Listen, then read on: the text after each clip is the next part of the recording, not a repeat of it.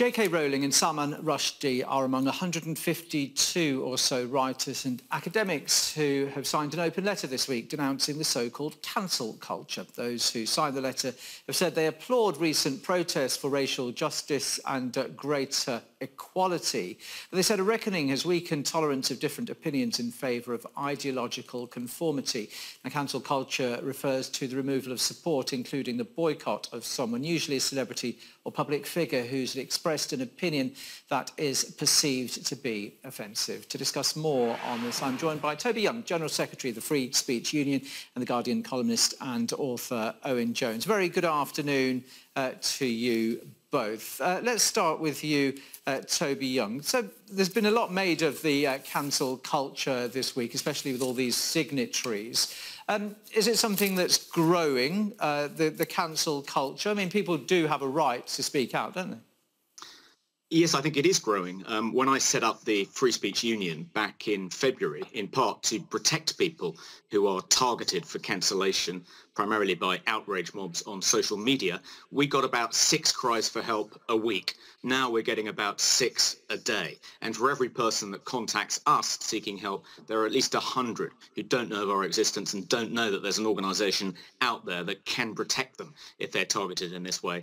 I really welcome this letter because in the past, people like Owen Jones have said that cancel culture is a figment of the imagination of white privileged conservatives like me. Well, here's a letter signed by some of the most distinguished left-wing writers and intellectuals in the world. You know, J.K. Rowling, Salman Rushdie, Noam Chomsky, Margaret Atwood, uh, all uh, raising the alarm about cancel culture, and they're on his side. They're all left-wingers. Uh, and uh, for Owen to be claiming still that it's a figment of the imagination of paranoid conservatives, I think is risking turning him into a bit of a laughing stock. So, uh, respond to that, Owen Jones. I didn't have a problem with the letter in of itself, by the way. I think the problem with the term cancel culture is it's a term which has become so broad and vague, it's it's completely meaningless. Uh, the term, just so we're clear, originated from online vernacular amongst young people to say that someone's gone down in their esteem. So uh, people would tweet uh, about a celebrity they were previously a fan of, uh, that they're cancelled, and by that they meant they no longer uh, saw them in, in as favourable a term. It, are people being harassed for their political opinions? Of course, that's always happened. I mean, I was beaten up by a far-right extremist and his two accomplices last year. Uh, court found it was motivated by homophobia and hatred of my left-wing political opinions. Your own team at Sky News know full well after being repeatedly harassed by far-right extremists outside your own studios, I wasn't able to take part in uh, discussions outside. Uh, Dawn Butler, a prominent uh, black female politician, has partly been driven from her constituency surgery because of threats from far-right extremists. But the problem with cancel culture, and these examples never somehow seem to fit into that term, is how broad a term it's become. So the Times newspaper gave examples of cancel culture last uh, last week. They included R. Kelly. R. Kelly's accused of paedophilia. Woody Allen. Woody Allen is still a multimillionaire making films. Scarlett Johansson, apparently cancelled. Probably news to her because she's still being paid millions of pounds to act. Jimmy Kimmel, a TV presenter who remains a TV presenter, getting $15 million a year to present. There's been claims that George Orwell has been cancelled because an obscure website criticised an author who died seven decades ago. And I think that's the problem. The term cancel culture, this idea that people are being cancelled, often simply refers to very powerful and wealthy people with very big public platforms who often go on national radio and television like uh, Toby Young to complain very publicly in uh, their newspaper columns on On Air about how silenced they are to protect them from being criticised on social media. And there are finally examples of people who I do, th- I mean, because often this is the other problem, this idea of free speech without consequences. When Chris Williamson, the Labour MP, who said and did many things which offended Jewish people, and he was portrayed as a Corbynite and all the rest, he was kicked out the Labour Party. I backed that, kicking out the Labour Party. He defended himself on free speech grounds. I don't buy that. David Starkey, when he says that slavery wasn't really genocide because there's so many damn blacks, is what he said, uh, institutions, universities and publishers then cut ties with him. In a democracy, free institutions have the right to decide who they give degrees to, who whose books they publish. So that's the problem. It doesn't mean anything anymore because it encompasses everyone from paedophiles or alleged paedophiles uh, to people who are being criticised on social media because they said something many people find it offensive. So Toby Young, is that is that a fair point? It's a real broad brush. You can uh, use the term cancel culture to define virtually anything. Well, I think it is used quite broadly, but I think the reason it's used more and more frequently is because there are more and more people who are becoming victims of cancel culture.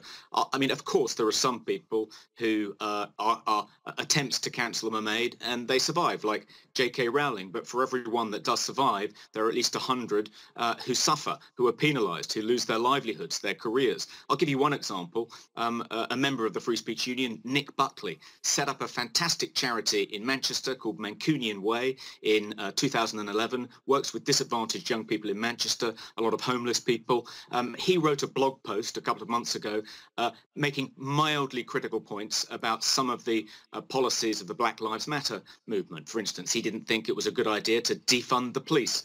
Uh, but because he'd written this blog post, a petition was started on change.org calling for him to be fired from the charity that he himself had set up. And he duly was fired by the trustees. They immediately caved into this online outrage mob. Another example, Gillian Philip, a very successful author. She tweeted, I stand with J.K. Rowling when J.K. Rowling was subject to a string of unspeakable misogynistic abuse just because she uh, challenged some aspects of the trans lobby. When she tweeted, I stand with J.K. Rowling, she lost a two-book deal. That kind of thing happens again and again. And for all the high-profile examples of people who really are cancelled, think of all those people who are self-censoring for fear of being cancelled. There was a if survey... People, if people have a fear of a backlash, should they perhaps rein in their comments somewhat? Still speak out, but perhaps not to such an extent?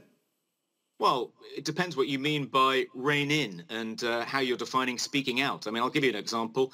Suzanne Moore, um, a Guardian columnist, wrote a column in which she uh, took issue with some of the more dogmatic demands of the trans lobby and 338 members of staff, writers at The Guardian, including Owen Jones, wrote a letter denouncing her, denouncing her for her anti-trans views. And I'm afraid that's the way these people operate. If you don't sign up to every jot and tittle of the woke agenda, you're a transphobe or a racist. Suzanne Moore's about as far from a transphobe as it's possible to be. She was just politely disagreeing and pointing out that there were some conflicts between women's rights and trans rights in areas like women's only sports and changing rooms and whether trans women should go to women's prisons. A perfectly legitimate point of view doesn't make her a transphobic bigot, but according to Owen Jones and his pals, she had to be denounced because she had anti-trans views, and those views were making people at the Guardian feel unsafe. This All is the right, way. Uh, they... let's go back. Let's go back to Owen Jones. Let, us let's, uh, let's hear from Owen. Uh, so the letter Toby Young's referring to didn't mention Suzanne Moore at all. It didn't mention any columnist. It did call uh, for more favourable coverage for a minority, which objectively gets a very hard time for society. So as, as an example, I think, I think this is a really good example of who is silenced and who is not. Last week, YouGov did a poll which found that 50% of people support gender ID for trans people. 57% of women support it and only and 43% of men. Women are more likely to support trans rights than men. That's what every poll shows. There is virtually no newspaper in this country which has that position. Whose voices are really being silenced? There are lots of columnists who speak out about what they see as the danger of trans rights. There are very few who make the case for trans people who are going through the same thing that people went through in the 1980s. Trans people, you can't cancel a trans newspaper columnist in Britain because they don't exist. You can't cancel a trans member of parliament because they don't exist either. And I do think, look, Toby Young is a striking example of this. And I think this all comes back, his free speech union, let's be clear about why it was founded in the first place. Toby Young was going to be appointed to a public body. It was because of nepotism. He's friends with the now Prime Minister Boris Johnson. Right, and, and no, no, no, this is a really important point, a really important point. No, very, very briefly, please, we've got to wrap this he, he, he, he was found to have tweeted over and over again about MP's breasts. He leered over the breasts of a 14-year-old. He joked about masturbating. I'm sure, I'm sure people, are, I'm sure people are, have got a, a, lot to, to say about various issues. Just quickly, uh, Toby, uh, Young, just come back on that. You can, yeah, no, I'm sorry, I'm, we are running out of time. I've just got to get a quick comment in from, from Toby Young, very, very quickly. Look, I've admitted that I've said some foolish things, I've done some foolish things in the past, just as Owen Jones has. The difference between him and me is that I've apologised for them.